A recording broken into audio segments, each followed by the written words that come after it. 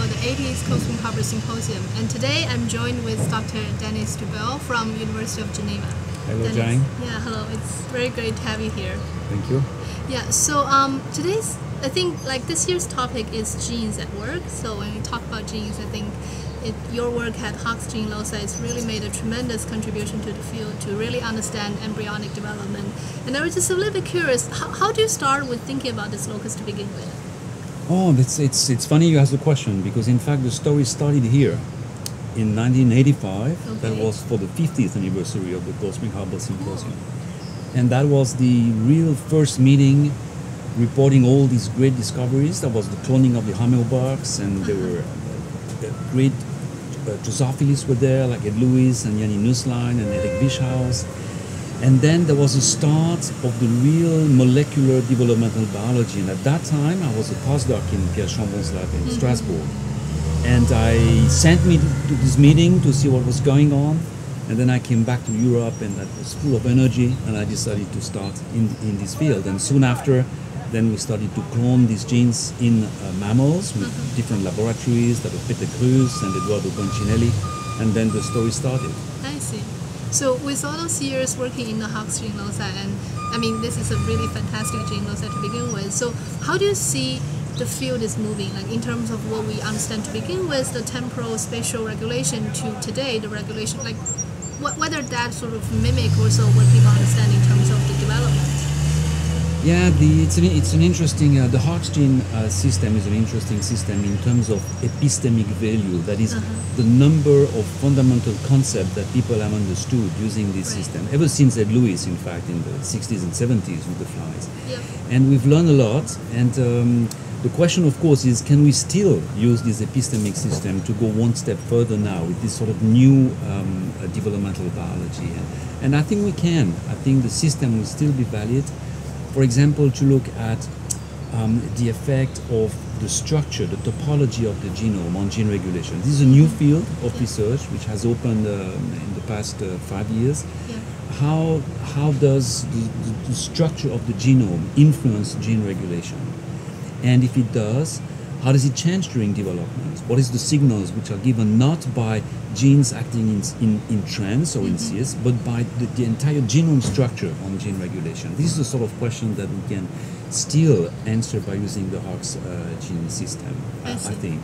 Yeah, because I think one of the things interesting for the Hox loci is are so many different kinds of regulation involved. There are in cis, in trans, there are also lincRNA involved. There are like um, different locus sort of like co- cooperate together, and now there is this whole concept about the TAD um, structure. So, how do you think those different layers of regulation was collaborating together, or how we might be able to actually distinguish them in certain contexts? Like, what do you see? Those Yeah, that, that, that's an interesting um, uh, point, in fact, because um, it, it is possible that this system allows to cross the boundaries between these different levels of regulation. Right. There is a classical cis-acting regulation in the Hox system Yep. with very close by located enhancer uh, promoter. Yep. There is also very long-range regulation. There is cis effect, there are trans effects. So all these concepts that we have inherited from genetics over the past century, in fact, you can crystallize them around this Hox system. And I, see. still believe that it's going to be very useful to study. I see. So I think one of the things you mentioned in your talk is that um, the whole development of the limb system seems to be one of the most sophisticatedly understand at this point. So what do you think it will sort of enlighten the other unanswered questions in the development? Yes, the, the problem is that when, when you work in develop, developmental biology, you need to have material. right. And embryos are notoriously small. Yes. And uh, you, you, you've got to work with the material you have. And the limb is, is special in this respect. That is, you can get some kind of material which is extremely difficult to get for the major body axes. You know, I the see. gastrulation occurs Yep. very early on in the embryo. It's virtually impossible to go them with the current tools of biochemistry and to make the right analysis. With the limb, it turned out to be possible, and this is why, in fact, um, knowledge on the limb system has been has, has went a little bit faster than knowledge on the trunk system. But I'm quite confident that by improving the biochemical tools, it's going to be feasible in the next five years to understand colinearity in the trunk, the Hox gene regulation in the trunk, to the level it is now understood in the limbs. Would you expect that similar rules will be applied, or Well, um, I, I, I cannot imagine that the rules will be completely different Uh-huh. because I think nature, as was said by uh, François Jacob, who actually was here in uh, 1985, I, I remember, uh, as was said by François Jacob, we constantly reshuffle things, you know, in a way or another during evolution. So I would not expect the rules to be completely different.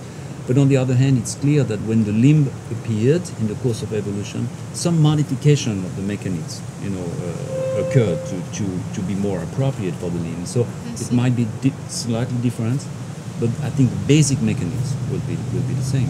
I see. So going from sort of the overall developmental field, I think one of the things that you mentioned that one of the term was used before is developmental genetics, and now it's more about developmental genomics. So do you think it's Right. really just the technical sort of involvement or the technical advance, or it's more than that? Now it changed a lot. You know, words are very important in, in Uh-huh. science, and and um, and they, they are very telling on what is happening. And Yep. it is true that in 30 years we moved from developmental biology, classical stuff. You know, we were Mm-hmm. Yeah. cutting embryos in pieces and see what would happen, to a molecular developmental biology, looking at how a gene, one gene, would behave in this. Yeah. And now we look at genomes. Now we look at entire genome. How does it react when we do this? So it's Right. developmental genomics. Yep. And this is something that started, I would say, five, six, seven years ago. Mhm. It's a brand new field now Right. opening, but very difficult field because again, to run biochemistry or genomics, you need material, and therefore we'll have to, you know, go down and down and down and down with the amount of material you can use Yep. before we can really apply this, this developmental genomics uh, discipline, which I think will be discipline for the next 20 years in developmental biology. I see. So, do you think that um, in terms of the level of insights that can be get from this, now we call like developmental genomics, that do you think it's more in terms of the detail of what's happening in the temporal and spatial setting, or it's more of a different overview of what's happening in developmental processes? Well, I think when you start looking at uh, genomes uh, instead of looking at genes, you immediately go into a level that is much more complex. So I would expect that we're not going to simply, you know, uh, find the little little details that we're still lacking. I'm absolutely convinced that we do not understand 95% of what is happening. And unlike what some of my colleagues think, that you know we've discovered everything and now, now it's just a matter of fixing a few details. No. Uh-huh. In fact, we only know a few details, and the problem is to really understand the basic mechanisms, the basic principles. I see. And I think that's the challenge for the next uh, 20 years. Sure. So, for your lab, or maybe even for the whole field, what do you think would be exactly as what as what you said, the, the the biggest question that people need to tackle from here? Well, I, I mean, the, the biggest question for me would be to understand the genotype to phenotype transition, that is the coding system. How can we encode ourselves in our DNA? I. Okay, I mean, I can understand how the liver works, okay, how to make an enzyme and so on, but how can we encode in our DNA in itself the way to produce ourselves, okay, the development, how to make an embryo? This is a fantastic challenge. And I would, you know, dream of having a sort of mathematical equation. I mean, perhaps there's more than one. Perhaps there are two or three equations, you know, that, that would explain the problem. How to start with the genome and end up with, with you or me. It is something we don't understand. I see. And do you think like basically like there are people working on developmental questions in different model organism and also now there are people al- always talking about how similar it is in terms of mammalian system Yes. and other systems. So how do you view this? Like yes, this, this is, I think, uh, uh, another fantastic uh, uh, a new um, way of doing science for the Uh-huh. past, I would say, 10 years, is that we now all work in the conceptual framework of evolution. See. And all the scientists you will meet here, if you talk to them, you will realize that eventually they integrate their thinking, they integrate the data within an evolutionary uh, framework. And the fact that we now have access to genomes, any kind of genomes, you can go into the harbor, you know, fish something and, and, and sequence it. I think that not only brings new data sets, but it also changes the, the mindset of people working in this field.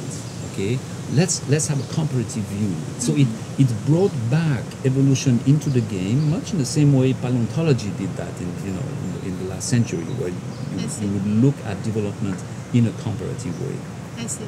So I think now that it's really a, a time that for technical to booming, like with the technical advance about like CRISPR, like genome editing, and also all those very fancy and very interesting imaging technique. Like, how do you see those in combination to really enlighten what Yeah, development? I, I, I, I tend to think that technologies do not really replace technologies.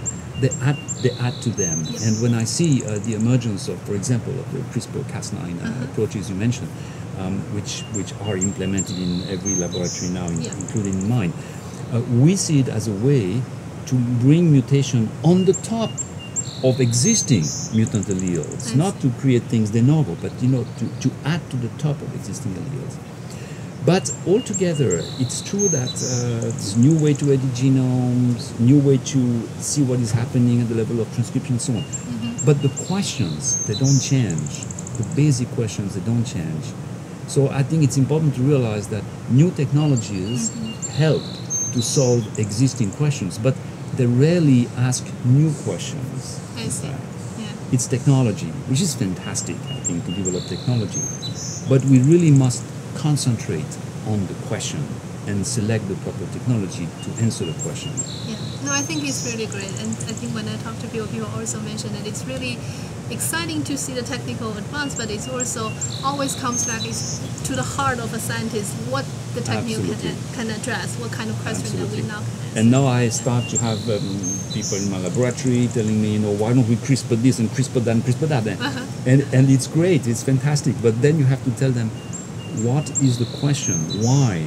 Okay, what is the big thing you want to understand by doing this? I see. And if there is a big thing, then let's go, let's do it with these extraordinary technologies. I see.